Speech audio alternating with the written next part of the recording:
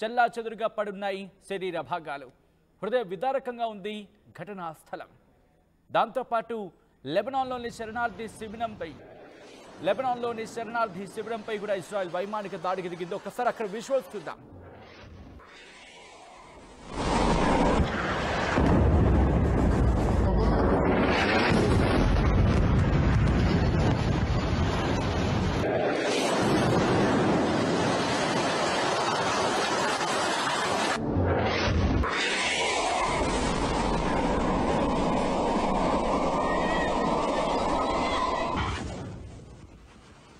Visuals మీరు చూస్తున్నారు Israel దాడులకు సంబంధించి భీకర దాడులకు దిగింది ఇజ్రాయెల్ లెబనాన్లోని శరణార్థి శిబిరంపై కూడా ఇజ్రాయెల్ వైమానిక దాడులకు దిగింది. దాడులు హమాస్ అధికారి అతని కుటుంబ సభ్యులు హతమయ్యారు. దాడిపై ఎలాంటి అధికారిక ప్రకటన చేయలేదు. ఇజ్రాయెల్ డిఫెన్స్ ఫోర్స్ మరోవైపు ఇరాన్పై రాకెట్లు వైమానిక దాడులకు ఇజ్రాయెల్ ప్లాన్ చేస్తున్నట్టుగా తెలుస్తోంది.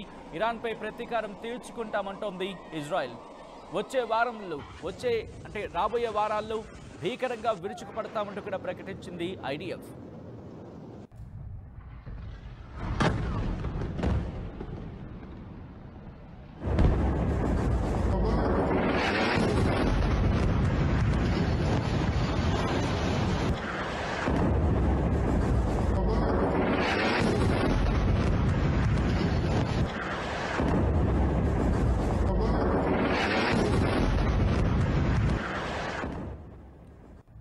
ఇరాన్ కూడా ఇజ్రాయెల్పై దాడులకు వ్యూహాలు సిద్ధం చేసుకుంటోంది. ఇటీవల హెజ్బుల్లా చీఫ్ నస్రుల్లాను హతమార్చింది ఆ తర్వాత దాదాపుగా రెండు వందల క్షిపణులతో దాడికి దిగిన పరిస్థితి మనం చూసాం. మళ్ళీ దాడులకు మళ్ళీ దాడులకు దిగేందుకు ఇరాన్ వ్యూహం సిద్ధం చేసుకుంటోంది. యుద్ధం మరింత తీవ్రం దాల్చే అవకాశం ఉంది. యుద్ధం వల్ల గాజాలో ఇప్పటి వరకు నలభై రెండు వేల మంది మృతి చెందారు. ఈ సంఖ్య యాభై వేల వరకు కూడా ఉండుండొచ్చు అనే అంచనా కూడా ఉందంటే అర్థం చేసుకోవచ్చు. ప్రస్తుతం ఎటువంటి పరిస్థితులు ఉన్నాయి? హమాస్ అలాగే ఇజ్రాయెల్ మధ్య. పచ్చగడ్డి వేస్తే భగ్గుమనేలా ఉంది ప్రస్తుతం. పశ్చిమాసియాలో పరిస్థితి ఇరాన్ను దెబ్బతీసేందుకు ఇజ్రాయెల్ ఏం చేయబోతోంది అనేది ప్రస్తుతం తీవ్రమైన చర్చకు దారితీసింది.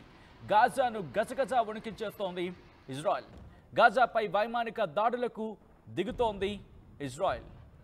కొద్ది రోజుల క్రితమే దాదాపు రెండు నెలల తర్వాత హమాస్ మళ్ళీ ఇజ్రాయెల్ మీదకి దాడి దిగింది. దీంతో ఇజ్రాయెల్ కూడా ఇజ్రాయెల్ కూడా హమాస్ మీద విరుచుకు పడేందుకు సిద్ధమవుతోంది.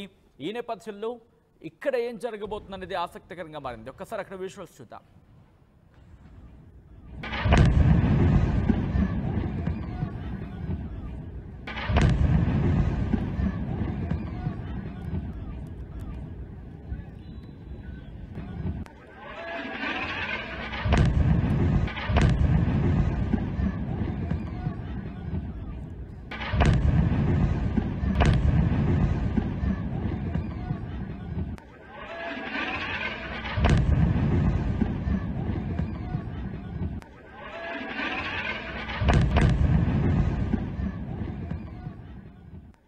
లేటెస్ట్ న్యూస్ అందుతోంది.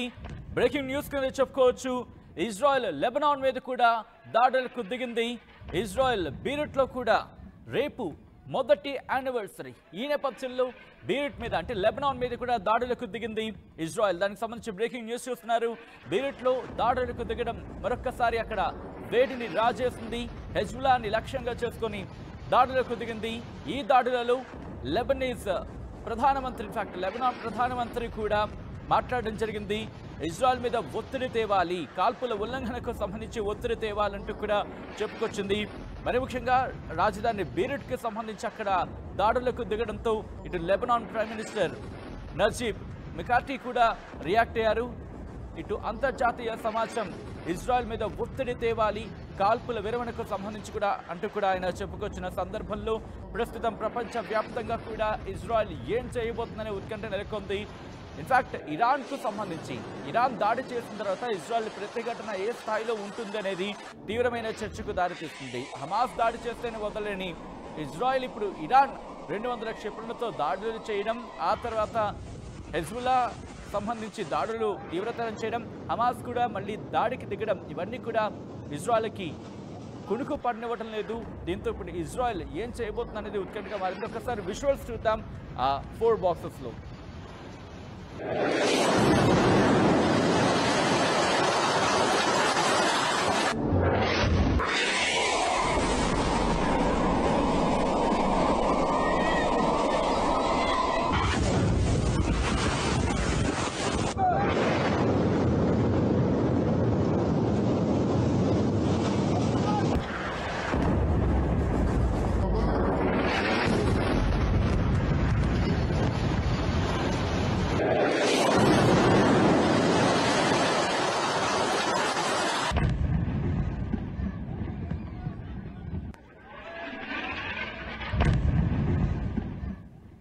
పశ్చిమాసియాలో పరిస్థితి మరింత ఉద్రిక్ మరింత ఉద్రిక్తంగా మారింది.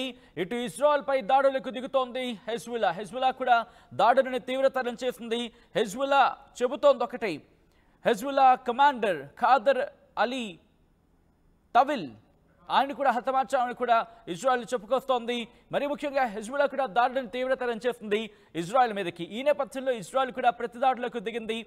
ఒక్కసారిగా మరింత ఉద్రిక్తంగా మారింది. రేపు మొదటి యానివర్సరీ.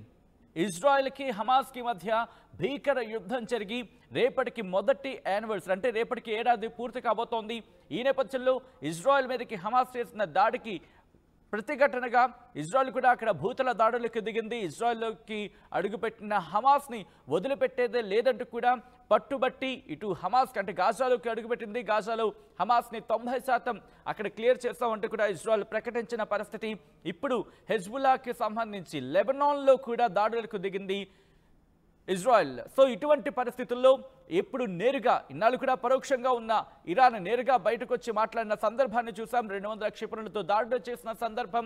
ఇటు హౌతీ రెబల్స్ కూడా దాడులకు దిగుతున్నారు.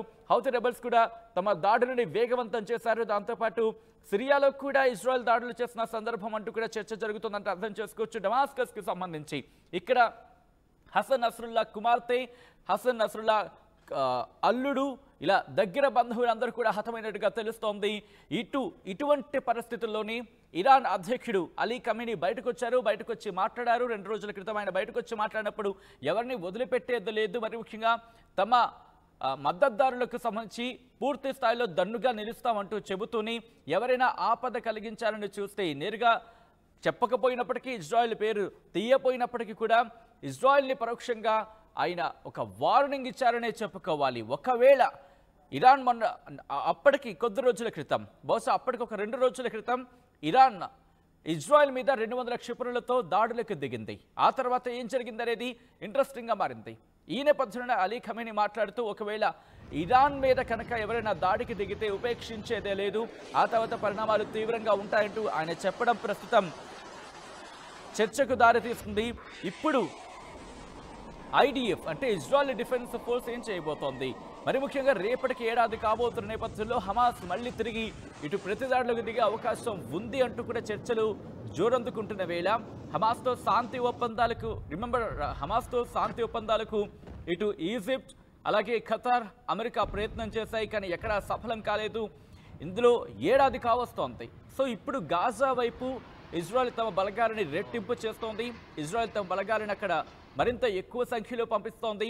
ఇజ్రాయెల్ దాడులకు సంబంధించి ఏం చేయబోతుంది? దాడులు చేస్తుందా? లేకపోతే కేవలం బలగాలను మోహరించి ఒకవేళ హమాస్ నుంచి దాడులకు ఒకవేళ హమాస్ కనుక దాడులకు ఉపక్రమిస్తే వాటిని డిఫెండ్ చేయడానికి అక్కడ డిఫెన్స్ ఫోర్సెస్ని పంపిందా? ఇప్పుడు ఇటువంటి ప్రశ్నలన్నీ ఉత్పన్నం అవుతున్నాయి వైమానిక దళానికి సంబంధించి ఇటు బీరుట్లో ఉంది. డిఫెన్స్కి సంబంధించి మరి ముఖ్యంగా భూతల దాడులకు ఒకవేళ హమాస్ కనుక తెగబడితే దిగితే గట్టి గుణపాఠం చెబుతామంటూ ఇజ్రాయెల్ ఇక్కడ అంటే గాజాకు సంబంధించి సరిహద్దుల్లో భద్రతను కట్టుదిట్టం చేసింది మరింత భద్రతను పెంచింది. వైమానిక దాడులతో లెబనాన్ మీద విరుచుకుపడుతోంది. హౌతీ రెబల్స్కి సంబంధించి కూడా వార్నింగ్ ఇచ్చింది. మీరు ఇక్కడతో ఆగితే బాగుంటుంది. లేకపోతే గత పరిణామాలు మీకు హెచ్చరించాల్సి ఉంటుంది. గత పరిణామాలని ఒక్కసారి చూడండి అంటూ ఒక హెచ్చరిక పంపించింది హౌతీ రెబల్స్కి సంబంధించి. అలాగే ఇరాన్కి కూడా నేరుగా హెచ్చరికలు జారీ చేస్తున్న పరిస్థితి ఉందా అంటే కనుక బిగ్గెస్ట్ క్వశ్చన్ మార్క్. కానీ ఒకటే చెబుతోంది. తమ పౌరుల విషయంలో ఎవరైనా దాడికి దిగితే ఎవరైనా తమ పౌరుల విషయంలో వాళ్ళకి హాని కలిగించినా వాళ్ళకి ఇబ్బంది కలిగించినా వాళ్ళకి ఎటువంటి ఇబ్బందికర వాతావరణం సృష్టించినా వాళ్ళని వదిలేదే లేదంటూ కూడా ఇజ్రాయెల్ బహిరంగంగానే చెబుతోంది. ఈ నేపథ్యంలో ఇలా ఇరాన్ ఇక్కడ దాదాపుగా రెండు వందల క్షిపణులు నూట ఎనభైకి పైగా క్షిపణుని ప్రయోగించిన నేపథ్యంలో ఇప్పుడు ఇరాన్ ఇరాన్ను ఇజ్రాయెల్ విడిచిపెడుతుందా వదులుతుందా లేకపోతే ప్రతిదాడికి దిగుతుందా? రిమంబర్ ఇక్కడ నేను ఎందుకు ఈ మాటని స్ట్రెస్ చేస్తున్నానంటే ఆల్రెడీ ఇరాన్ వార్నింగ్ ఇచ్చింది. ఇజ్రాయెల్ ఇక్కడితో వదిలేస్తే సరి లేదు ప్రతిదాడికి దిగితే కనుక పరిణామాలు తీవ్రంగా ఉంటాయంటూ హెచ్చరించింది. సో ఇటువంటి నేపథ్యంలో ఏం జరుగుతుందనే ఒక ఉత్కంఠ మాత్రం కన- కొనసాగుతోంది. గాజాలో గాజా గురించి మాట్లాడుకుంటున్నాం ఇప్పుడు. గాజా చాలా కీలకమైన పరిస్థితి. హమాస్ దాదాపుగా తొంభై శాతం తుడిచిపెట్టుకుపోయిందంటూ కూడా ఇటు ఇజ్రాయెల్ చెబుతున్న నేపథ్యంలో ఇప్పుడు గాజాలోని ఓ మసీదుపై ఒక మసీదుపై అక్కడ దాడులకు దిగింది. ఈ దాడుల్లో యాభై మంది మృతి చెందారు. దాంట్లో కొంతమంది కీలక నేతలు ఉన్నట్టుగా తెలుస్తోంది. ఇక్కడ హమాస్ హమాస్కి పెద్ద దెబ్బ హనియే మృతి. ఇరాన్లో హనియను ఇస్మాయిల్ హనియను హతమార్చిన తర్వాత హమాస్ కీలక నేతలను ఒక్కొక్క ఒక్కొక్కరిని కోల్పోతోంది. మరి ముఖ్యంగా గత కొద్ది రోజులుగా లెబనాన్కి సంబంధించి చాలా సన్నిహిత సంబంధాలు చాలా దగ్గరగా ఉంటుంది. మరి ముఖ్యంగా లెబనాన్లోని హెజ్బులాకి సంబంధించి ఇటు హమాస్కి చాలా సాన్నిహిత్యం ఉంది. తమకు కావాల్సిన ఆయుధ సామాగ్రి కావచ్చు వీటిని సమకూర్చడంలో హెజ్బులా సహాయపడుతుందనే మాట మనం ఇక్కడ గమని గమనిస్తూ ఉంటాం. సో ఇటువంటి నేపథ్యంలో ఇప్పుడు హెజ్బులా మీద కూడా దాడిని తీవ్రతరం చేస్తుంది హెజ్బులా మీద దాడిని తీవ్రతరం చేస్తున్న నేపథ్యంలో హమాస్ ఎక్కడా కూడా అంతగా అంటే ఇజ్రాయల్ మీద అంతగా దాడులకు తెగబడిన సిచ్యువేషన్ కూడా మనం దాదాపుగా చూసామని చెప్పుకోవచ్చు. ఇక్కడ హమాస్ ఒకవేళ ఇప్పుడు దాడులకు దిగితే ఇజ్రాయెల్ ఏం చేస్తుంది? ఎందుకంటే ఒకటే చెబుతోంది ఇజ్రాయెల్. తొంభై శాతం తుడిచిపెట్టుకుపోయింది హమాస్ అంటున్న ఈ నేపథ్యంలో ఒక వారం రోజుల క్రితం వారం రోజుల వ్యవధి కరెక్ట్గా ఇటు హమాస్ కూడా తిరిగి మళ్ళీ ఇజ్రాయెల్ మీద దాడులకు తెగబడింది. దాడులకు దిగింది. సో ఇటువంటి పరిస్థితుల్లో ఇజ్రాయెల్ ఇప్పుడు గాజా వైపు బలకారును పెంచుతోందంటే ప్రతిదాడి చేయబోతోందా ప్రతిఘటించబోతోందా? లేకపోతే అటు నుంచి ఏమైనా సవాళ్ళు ఎదురైతే వాటిని డిఫెన్స్ చేసుకోవడానికి అక్కడ బలగాలను మోహరిస్తోందా? లేకపోతే మరింత దాడిని తీవ్రత తీవ్రతరం చేయాలనుకుంటోందా? హమాస్ని ఆ, మరి గాజా గాజా స్ట్రిప్కి సంబంధించి మాట్లాడుకున్నప్పుడు అక్కడ ఎటువంటి వాతావరణం ఉండబోతోంది రేపు ఏం జరగబోతోంది అనేది చాలా కీలకంగా మారింది. ఈ రోజు నుంచి ఇటు రెండు వైపులా కూడా దాడులు పెరిగే అవకాశం ఉంది. ఎట్ ద సేమ్ టైం ముప్పేట దాడికి మొత్తం అన్ని సిద్ధం అవబోతున్నాయా అనేది ఇప్పుడు కీలకంగా మారింది. ఎందుకు ఈ మాట ఇక్కడ వస్తోందంటే కనుక ఇరాన్ ఇప్పుడు నేరుగా ప్రత్యక్షంగా రంగంలోకి దిగిన పరిస్థితి మనం చూడలేదు. కానీ ఈరోజు నేరుగా ఇరాన్ కూడా రంగంలోకి దిగింది అంటూ కూడా చర్చ జోరందుకుంటున్న నేపథ్యంలో పేజర్ అటాక్కి సంబంధించి ఇక్కడ మళ్ళీ ప్రస్తావన వస్తుంది. ఎందుకు వస్తుందంటే కనుక పేజర్ అటాక్స్ తర్వాత ఇటు హెజ్బుల్లా ఇరాన్ ఇక్కడ కాన్సన్ట్రేషన్ ఎక్కువైంది. హెజ్బుల్లా మీద దాడికి సంబంధించి పేజర్స్ అటాక్స్లో అక్కడ చాలామంది కీలక నేతలు వాళ్ళు ఒకసారిగా షాక్కి గురయ్యారు. వాళ్ళందరూ వాటిని కమ్యూనికేషన్ సిస్టమ్ పేజర్స్ అంటూ చర్చ జరిగిన నేపథ్యంలో ఎప్పుడైతే పేజర్స్ మీద అటాక్ జరిగిందో ఆ తర్వాత పరిస్థితులు మారిపోతూ వచ్చాయి. ప్రస్తుతం గాజా గురించి మాత్రం ఆసక్తికర చర్చ జరుగుతోంది. సో గాజాలో ఇప్పుడు ఏం జరగబోతోంది? ఇజ్రాయెల్ ఏం చేయబోతుంది అనేది మరొక ఆసక్తికర చర్చకు దారితీస్తోంది.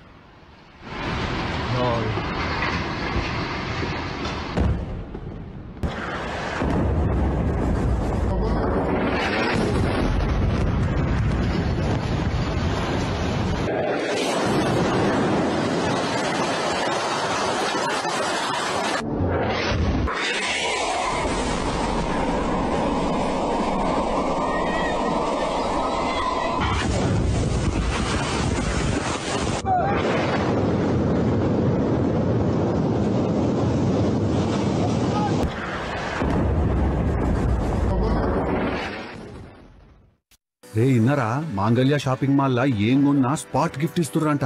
రండిగా. మాంగళ్య షాపింగ్ మాల్లో దసరా స్పాట్ గిఫ్ట్ పక్క. ప్రతి వెయ్యి రూపాయల కొనుగోలుపై ఖచ్చితమైన స్పాట్ గిఫ్ట్ ఈ ఆఫర్. అక్టోబర్ ఒకటి నుంచి పదకొండు వరకు మాత్రమే. Mangalya shopping mall Telangana. రే ఇన్నరా? మాంగళ్య షాపింగ్ మాల్ లా ఏం కొన్నా స్పాట్ గిఫ్ట్ ఇస్తుర్రంట. రండిగా.